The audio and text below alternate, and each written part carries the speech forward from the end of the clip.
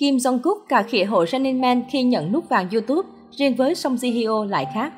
Tham gia Running Man vào năm 2010, Kim Jong-kook đã trở thành một thành viên không thể thiếu của show truyền hình đình đám này. Anh Hổ đã nhiều lần giành được chiến thắng trong các trò chơi nhờ vào thân hình cơ bắp rắn chắc nhưng không kém phần linh hoạt của mình. Mới đây, Kim Jong-kook đã lên sóng video đập hộp hai nút vàng, nút bạc YouTube và khoe với hội Running Man trong hậu trường chuẩn bị cho buổi fan meeting online. Đây quả là thành tích khủng của người năng lực khi chỉ mới ra mắt kênh YouTube được 2 tháng. Nói về lý do mang hai nút vàng, nút bạc đến phim trường ghi hình fan meeting online Running Kim Jong-kook lầy lội cho biết anh muốn chọc hai thành viên là Haha và jisoo Suk Jin vì cả hai cũng có kênh YouTube cá nhân phát triển hơn một năm nhưng đều chưa thể ẩm được nút vàng như kẻ mạnh. Là những thành viên xuất hiện đầu tiên trong video, jisoo Suk Jin và Haha đều không được Kim Jong Kook cho phép mượn hay chạm nhẹ vào nút vàng nút bạc của mình. Tuy nhiên khi có sự xuất hiện của jihyo, Jong Kook đã hào hứng khoe thành tích khủng, đồng thời gửi lời cảm ơn đến jihyo vì có sự đóng góp của nữ diễn viên. Thậm chí Jong Kook còn định trao nút bạc cho Jihyo để làm quà cảm ơn. Sở hữu lượng fan hùng hậu chẳng có gì lạ khi vlog game của Jong Kook có sự xuất hiện của Jihyo lại tăng view đột biến. Nhờ sức hút của cặp đôi Spice Ace, hai phần vlog có Jihyo làm khách mời đạt được lượt xem khủng với con số tổng lên đến 24 triệu. Ngay lúc này, fan đặc biệt chú ý khoảnh khắc Jungkook dễ dàng cho phép mợ ngố cầm nút bạc chạm vào nút vàng của mình. Thái độ của người năng lực đối với Jihyo hoàn toàn khác hẳn với hai thành viên nam khiến cộng đồng mạng thích thú. Song Ji Hyo và Kim Jong-kook đã có hơn 11 năm quen biết nhờ tham gia chung chương trình truyền hình nổi tiếng Running Man. Trong suốt khoảng thời gian dài, cả hai được cư dân mạng tích cực đẩy thuyền, ủng hộ về chung một nhà. Những khoảnh khắc ngại ngùng giữa hai ngôi sao khi nói về chuyện tình cảm cũng trở thành đề tài nóng hổi trên các diễn đàn trong và ngoài nước.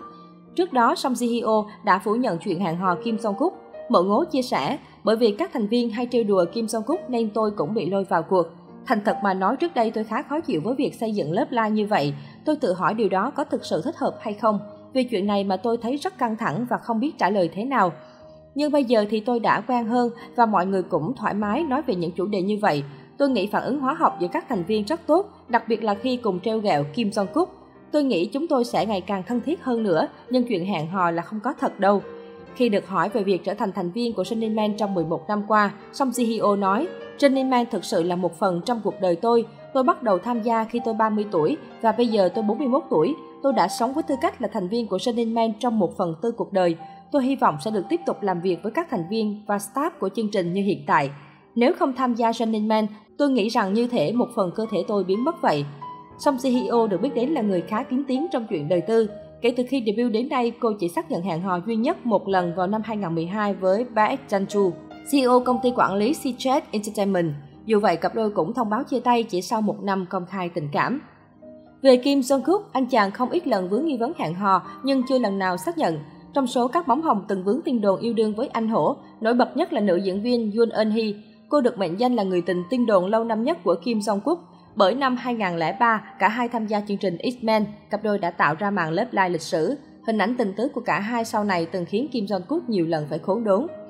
Không rõ tình trường của Kim Jong-kook ra sao, nhưng trong nhiều chương trình thực tế, nam nghệ sĩ đã cho thấy tài nói chuyện hóm hỉnh khi hẹn hò, đồng thời cách xoa dịu tâm hồn nếu như đường ai nấy đi.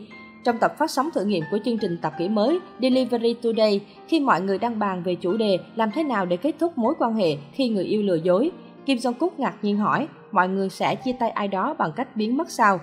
Dàn khách mời khá tò mò phản ứng của Kim Jong Kook nếu bạn gái của mình đã lặng lẽ chia tay mà không có bất kỳ một tin nhắn hay cuộc gọi nào. Đáp lại, Kim Jong Kook thẳng thắn tuyên bố anh sẽ gọi điện thoại thông báo ngay cho cảnh sát. Nếu điều đó xảy ra với tôi, tôi ngay lập tức báo với cảnh sát về trường hợp mất tích. Tôi sẽ không bao giờ tin rằng họ đã mất hứng thú với tôi. Kim Jong Kook hài hước chia sẻ. Thành viên Running Man còn chắc lịch bày tỏ rằng anh không thể hiểu được tại sao mọi người lại chia tay theo cách như vậy. Nếu tình huống xảy ra với Kim Jong-kook, anh sẽ rủ đồng bọn đi tìm cô ấy bằng mọi giá.